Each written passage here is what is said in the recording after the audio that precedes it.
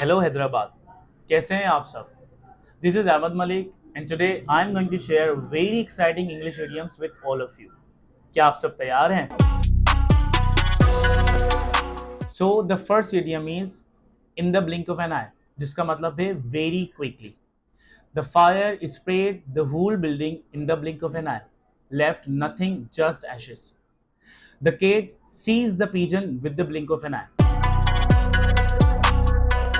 So let's move on the second one, which is stick your nose, which means to make unnecessary interruption in someone's life without invitation and necessity.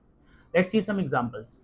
She always sticks her nose in everybody's personal life. So dear viewers, I hope you like the video.